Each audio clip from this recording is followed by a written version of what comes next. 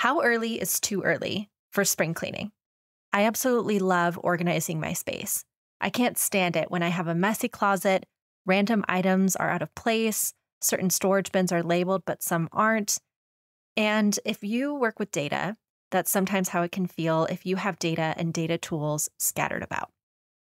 Alteryx Analytics Cloud can help you make sense of the chaos.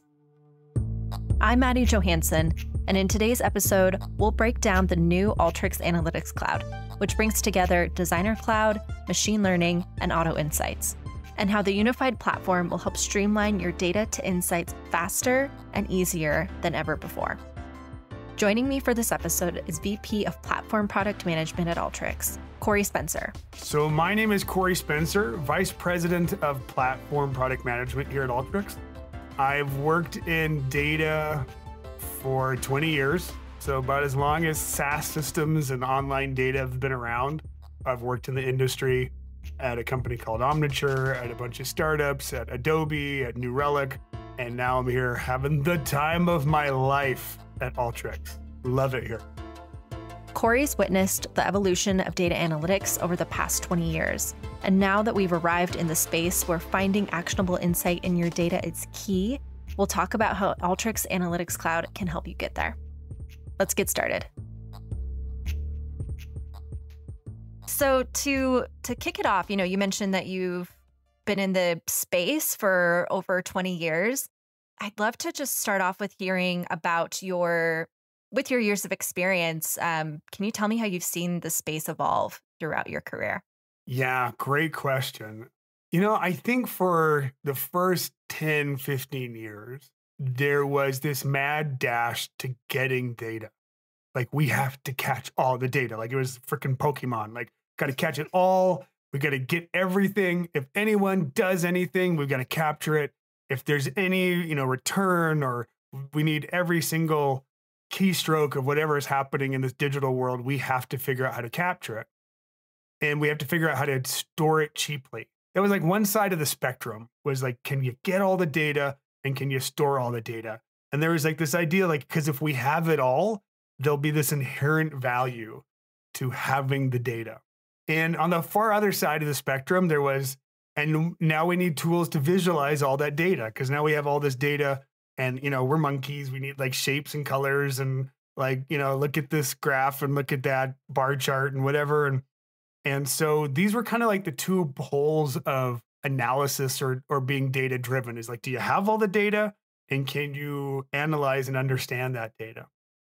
And I think one of the reasons I'm here, like one of the biggest reasons I'm here is during that time, I spent most of my career helping customers collect that data as fast, as easily, and as cheaply as possible. In fact, if you've used the internet today, you've used technology that my team built to do that. Cool. It's on most Fortune 100 websites and it's in most apps that you use, and it's capturing data and storing it more easily than ever before.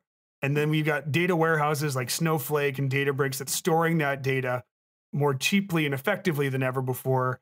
And you've got visualization engines out your ears with all sorts of ways to see that data. But customers aren't getting value from that data because the more holistic they think of as an organization, the more they see that those data were never meant to work together your online data for your sales, your campaign data, your accounting data, your logistics data, your shipping data, your employee data. Those things are nuanced just enough that, that none of them are supposed to work together. And in fact, even if you buy four or five of those products from the same company, they probably barely work together. So there is this huge gap between collecting the data and understanding the data, which is in this preparation area of mm-hmm. how do you prepare and get the data to look right. In fact, I think it's so difficult. You see people doubling down in the silos. They're like, I'm a marketing data expert or I'm an accounting data expert yeah. instead of like, I'm a data expert. So, one of the things I love about what we're doing at Alteryx is like changing that whole narrative because, like, oh, it's so disheartening to watch like a, um, somebody who's like a data analyst have to write a JIRA ticket to a data engineer and say, hey, can you join these data sets together? And can you clean the data and change this so that I can run my reports and understand the data and have to iterate five or six or seven times because the data engineer doesn't understand the data and the business user doesn't understand data engineering. And so, kind of creating this level playing field for everyone to work together, I think it's a really cool problem to solve.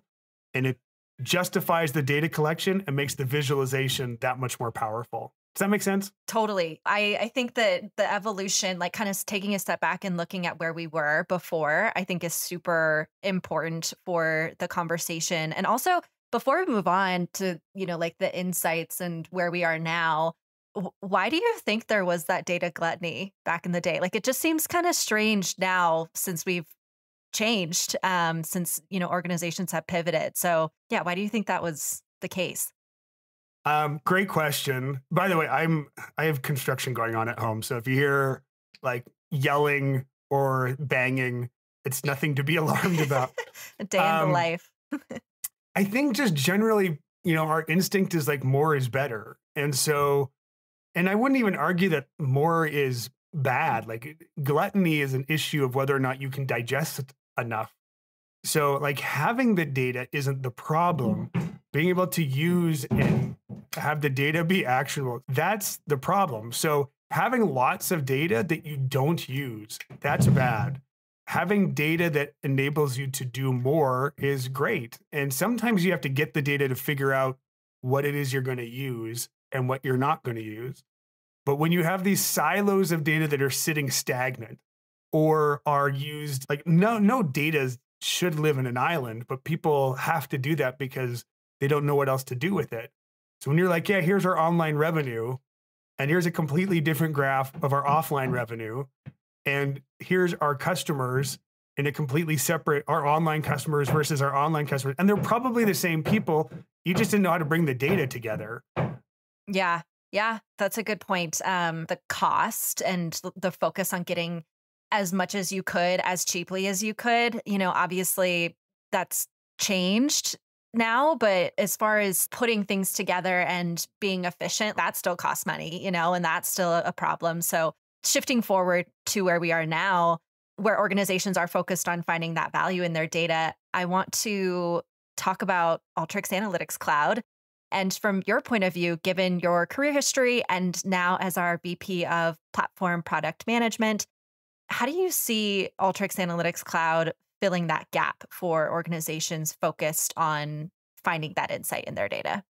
Yeah, uh, I love the question. So, a lot of what we're focused on is low code and code friendly interfaces for people to do things that, for those who know what they're doing, to have a safe place to do it, and for those who are learning, to have a safe place to affect change. A lot of our products are around like upskilling people to do complicated things with data in a friendly and highly mm-hmm. usable way. And I'll give you an example. I'll tell you, this is why I'm mm-hmm. here. I was in Singapore a couple of months ago. That's awesome, by the way. Singapore, how cool. Yeah, Singapore is pretty we great. can't, yeah, we can't glaze over that. yeah. So I was with our CEO in Singapore. We were doing a conference. And on stage was senior vice president of one of the largest banks in Asia. And he tells this story. And it is about a bank teller for their bank who lived in North Africa in this poverty stricken mm. village. And he was so thankful just to have a job at the bank as a bank teller. But he's a go getter. So he emails this senior vice president and says, What else can I do? What else can I do to like increase my career opportunities? And this guy's like, you know what? I don't have a lot of time to spend on this. So he says, you know what? Take an Alteryx certification and learn how learn designer, which is our on-prem product that helps with data prep. And he says, okay. And so like a month later, and honestly, this SVP is like, my job is done. I was a good person. I told him to go do something. A month later, he gets an email back from this guy who says, I did it. And he's like, oh, wow. Well, here's an advanced certification. Go and get that. And he's like, okay. And like another month and a half goes by and he gets an email from this guy and he says, I did it. I did that too. And this SVP was like, all right, here's a data problem. See if you can solve it. Now, this guy was a bank teller from North Africa, limited education, limited funds. A couple of hours later, he sends back the answer yes, here's the answer. And the SVP gave him a job as a data analyst and moved him to a much nicer city in much better position that moment. And this individual still goes back to the small village in North Africa as an example to say, look, this is the cheat code to bettering your life, to bettering your career. If you can learn this, you're doing things that you're not supposed to be able to do. And to me, that's that's why I love what I do is semi regularly.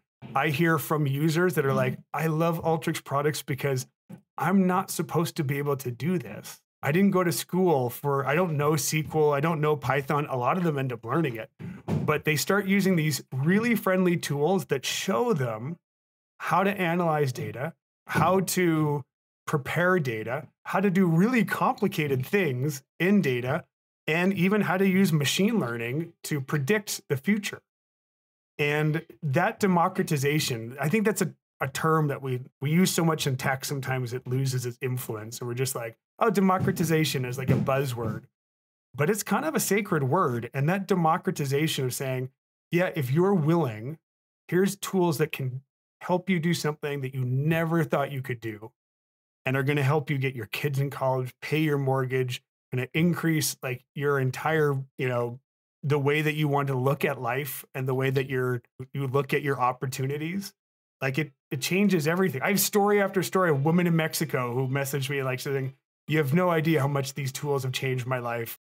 A marine vet who like comes home and and starts learning how to use Alteryx and is now like working at amazon and doing data preparation and like never thought that he would have that opportunity like it's story after story of meeting people who have the right mindset and finally giving them the right tool set to be successful. Yeah.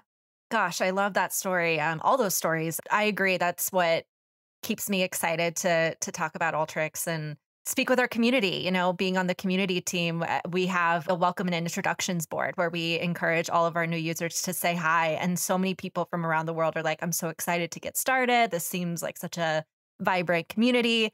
Everybody's been so helpful so far. And going back to what you were saying about having the right mindset for folks who want to dive in, the community is full of people, users who are just getting started or people who've been using it for a long time and they can't get enough of it. So it is an exciting place to be. It's a really great product for those reasons. Uh, with that mindset in mind, what are some of like the characteristics that you see in people who do succeed with Alteryx?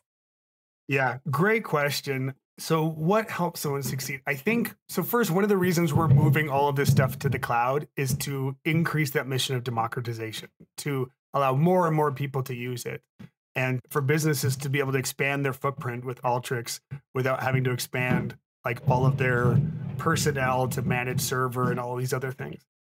As we think about who's successful, you know, there's a couple of things, and I think they're probably pretty universal for successful people those that are curious, those that are determined, and those that are, you know, just willing to ask questions are those that I think are successful. So, for example, I was not an Alteryx user before I came here.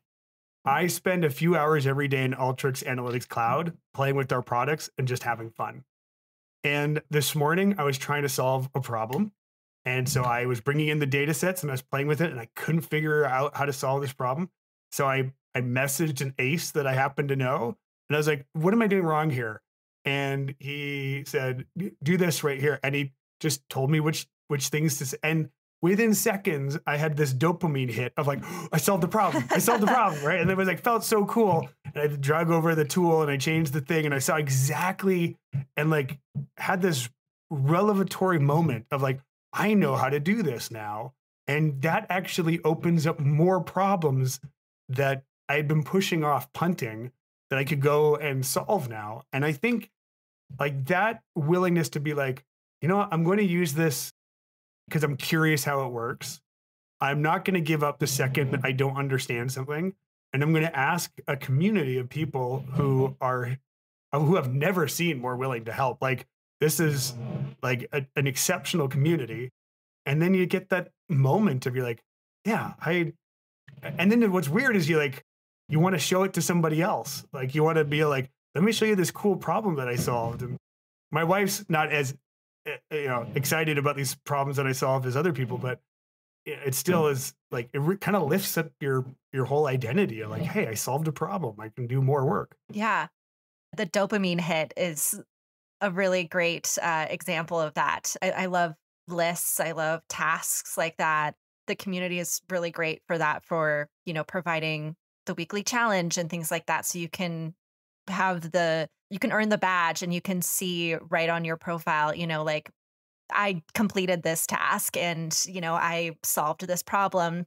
And I'm curious from your perspective what it's like for organizations who might not have Alteryx or, you know, maybe back in the day before data democratization, there was this big push for data democratization. So, asking a basic question, what was that like? Super great question. Okay, so what you're going to find in most organizations right now is you've got your business users that are trying to use data to answer questions. And there's this big push around democratizing data. We want anyone to get access to data. So, like, cool. Here, Jane, here's access to Snowflake. And Jane's mm-hmm. like, what the heck am I supposed to do with this access to Snow? Like, I don't. So, and a manual to SQL. Like, and now what? What do I do with this? And so what often happens is Jane asks Mary, "Hey, can you, you know, as a data engineer, can you help me cleanse some of this data or figure out how to do some queries?" But they're always really limited. And so you have data engineers who should be working on big algorithmic issues, doing janitorial data work so that the business users can get stuff done. In fact, I hear from other people in the industry all the time where they say like we've got another issue of like there's just not enough data engineers. There's just not enough data, you know, people who can manipulate the data in the databases the way that we need them to to be able to get the data in the formats that we need for our applications to work. Right? They've got like some cool analytics program and it has a proprietary data model and the data has to look a certain way. And if we get the data to look a certain way, like boom, we're going to make you lots of money. But getting the data in the right format from those sources requires an engineering team that you know most companies don't have, or if they do, are on other more important things. So you end up with this weird issue of seeing potential and being frustrated because you have the data, you just can't use it in the because it's not in the right format or it's not joined together with the other data sources. So you just end up with a big backlog. You just end up with like, I've got a hundred data requests that I'm going to work through. And any attempt to make a timely decision is just shot because you're just you're in a queue along with everybody else that's trying to decide what's the biggest priority. So that's again one of the things I love about what we're doing, whether it's Auto Insights, which I think is like one of the best products on the planet, Designer Cloud to better prepare this data is like taking out so much of that janitorial work and getting to the things that human beings can use to drive value and really make decisions. It's a huge shortcut for organizations to go from having data to using data is just saying, Jane, I'm not giving you Snowflake access because that would be silly. I'm giving you Alteryx access that has access to Snowflake. And that's a, a workflow layer on top of that that's going to make it easy for you to use our data warehouses, easy for you to analyze that data and take 30% of that horrible work that you were doing and let you focus on that 60% that's going to make a difference. And also, I think it comes with a built in safety net. I think you mentioned earlier having it be like a safe environment and being able to go into Alteryx and know that you're you can undo it. If you make changes in your data, you might not actually change the real data unless you publish it. Yeah, I think even more so, what's really interesting is like the number of, I almost swore, crappy Excel documents that people pass around an organization as like, as gospel. Like, hmm. here's the Excel document. By the way, don't touch sheet three, four, five, or cell 2A or 2B because then the whole thing breaks. And in the second you, well, can you talk me through your logic on how you got this data together and prepared? Then they're like, yeah, here's all of the equations, and you can't follow crap. Like you're trying to figure it out. One of the things that I love about Designer Cloud is I can look at something and I can see your thought process in seconds. I can follow it. And if I need to debug it, I can like literally find exactly where it was wrong and especially when you you add like app builder which let, allows you to turn that into an application, or Auto Insights that allows you to create a dashboard out of that data in seconds and start sharing the data. The second somebody mm-hmm. says, I don't know if I trust this data, I need some more confidence in the data. And you pop open that workflow and you're like, take a look. This is how we got to the data. And it's not like four paragraphs of code, it's or 17 pages of, of random cell references. It's very logically laid out, and you can understand exactly how someone got to the data. And that confidence trickles down to everything else. Like if you have confidence in the data capture and the data preparation, then the decisions that you make out of it, you can make like standing on solid ground. If there's a weakness anywhere along that chain and you tell someone something they didn't want to hear, I'm sorry, your campaign is not effective. I'm sorry, your logistics is not cutting mustard. The first thing they'll say is, I think the data is wrong um, because you're challenging their perception. And so you need to be able to go back and say, this is this is how we got that data. This is how we prepared it. And this is how we analyzed it. And there's no tool that does that better than the Alteryx tool, just plain and simple. Yeah. And earlier you mentioned Jane uh, as the business user example. Let's say that I'm Jane and I, you know, I need answers. I need to figure out what's going on with whatever is happening with my team, what's happening with the performance of my department.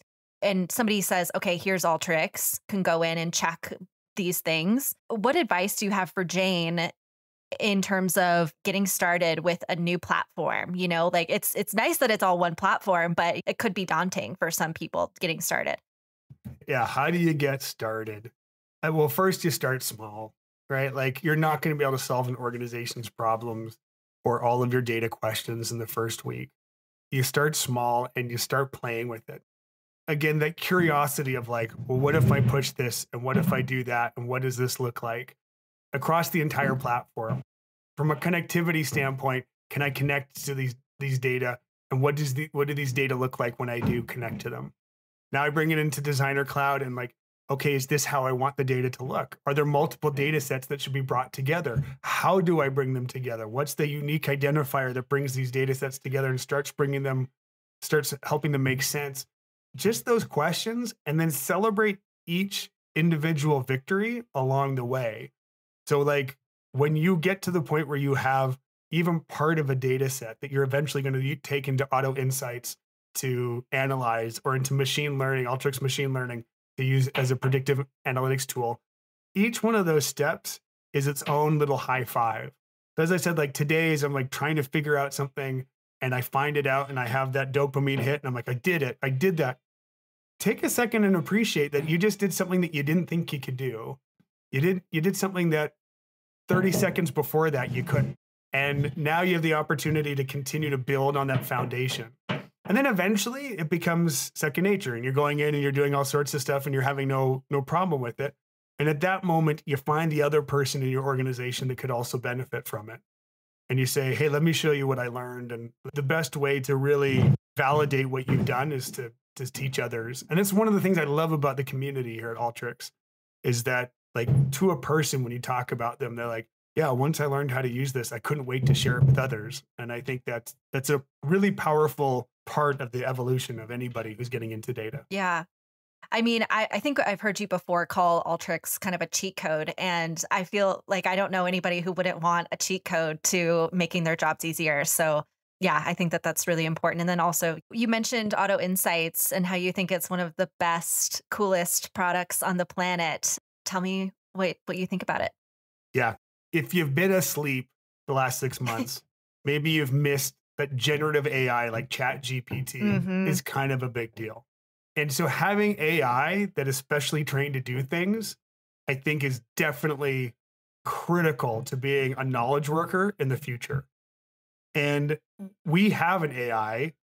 and we acquired a company called Hyper Anna. Anna is the AI that runs Auto Insights. We renamed it to Auto Insights. Anna's entire existence is to look at data and to analyze that data faster than any human being can and to come up with insights, to analyze it and say, here's what your data means and here's reasons that your data is doing that. Here's here's some things you should definitely look at. My first job in this space was to do that for some of the biggest companies in the world. They would Like I would get their web analytics data and I'd be like, yeah, it looks like your revenue is down in the UK, or it looks like this particular campaign didn't perform as well or performed really well. The lag of getting the data and analyzing the data and then putting together a dashboard and then sending it out is something that our industry has just kind of like lived with for 20 years. And if we have AI that can generate art and we have AI that can write books, we have AI at Alteryx that can analyze your data. So when you think of it end to end, what's incredibly powerful is I can get in and get the data to the point where I have confidence in the data set using Designer mm-hmm. Cloud. And then I can send it right into Auto Insights. And in like 30 seconds, it has analyzed that data. I can continue to push it repeatedly in there. So it's always getting the most recent data. And it's creating dashboards or what it calls missions that's telling me what the data means that I can then send to my team and I can look at and as an analyst dig into like the really nitty gritty of it. So, having an AI, mm. having an artificial intelligence that specializes in analyzing data, I think is going to be a key differentiator for Alteryx and Alteryx users over the next five years. As these generative AIs are going to be creeping up all over the place. ChatGPT is cool. It can't analyze data. You feed it a data set and it will describe the data set to you. But Anna can analyze the data. And I, I think that's something that, you know, if you want to talk about cheat codes, man, that's got to be like that's the granddaddy of cheat codes is like having artificial intelligence analyze the data for you. And yeah, uh, if I'm Jane again, you know, when I hear somebody explaining to me, okay, this AI is going to analyze your data, to me, like, I don't, I'm a, such a visual person. I might not really understand, like, okay, but what is that experience going to be like?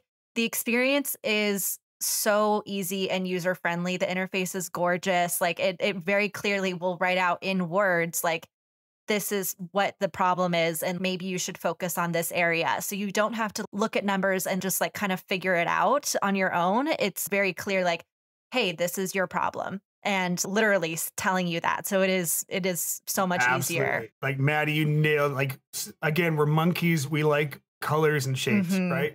But the reality is that we're looking at colors and shapes in data visualization so that we can answer questions. And one of the things that Anna does in, in, in Auto Insights is it just literally it shows you it shows you colors and shapes because you know that scratches that part of your brain that needs that. But yeah, it literally says your sales are down by this percentage in this region. And we think it's because this campaign or this issue is causing it, which is what you would have figured out if it had just given you the visualization, but you would have figured it out in 20 minutes or half an hour. And this is telling it to you in milliseconds. So yeah, the experience is very friendly. It's it's I think it's great. Honestly, I think there's a whole other podcast on what's the future of data visualization as these types of technologies come out. Yeah, Auto Insights, man, if I'd had that over the last 20 years, I would have been able to be so much more effective in my jobs and focused on the real things that I wanted to do to to drive change. That's great. Super excited for more people to get their hands on Auto Insights and Analytics Cloud in general. I think there's a lot of great opportunities for folks on the horizon. Yeah, me too. Again, I apologize for the construction going on. Hopefully, the listeners aren't like, why did Corey do this in the middle of an earthquake? But, um, you know, we're really excited about this. And uh, over the next couple of months, Alteryx Analytics Cloud is releasing in February.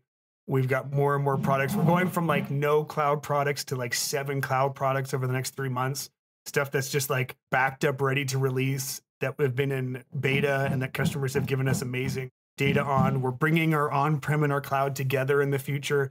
Like this next year is a big year for Alteryx but all because of our users. And so the feedback that we get from our users, the feedback that we get from our community, that's the heartbeat of everything that we do. So if you're listening to this, please let us know what you love and what you don't love about our stuff because that's what's going to make this better. You know, we we need that. It fuels everything. Thanks for listening. To get started with Alteryx Analytics Cloud, including Designer Cloud, machine learning, and auto insights, check out our show notes at community.alteryx.com slash podcast. Catch you next time.